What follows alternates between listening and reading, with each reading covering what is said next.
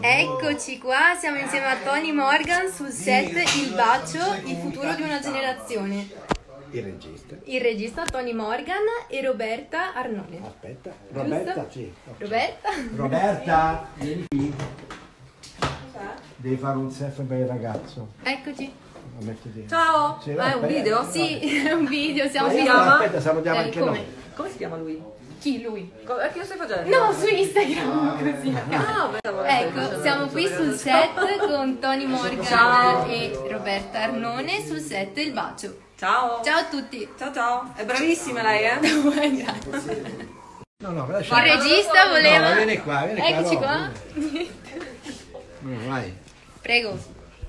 Ciao!